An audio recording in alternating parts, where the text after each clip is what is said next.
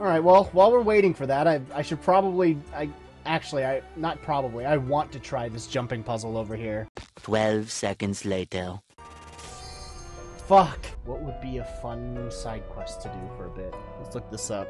Fun side quests FF14. Ooh, 10 side quests with amazing rewards. Learning Lolly Ho. That's another, that's one that I could do. Climb the tower. Okay, sure, we can do that.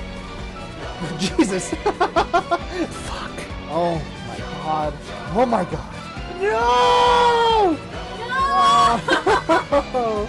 End with this shit.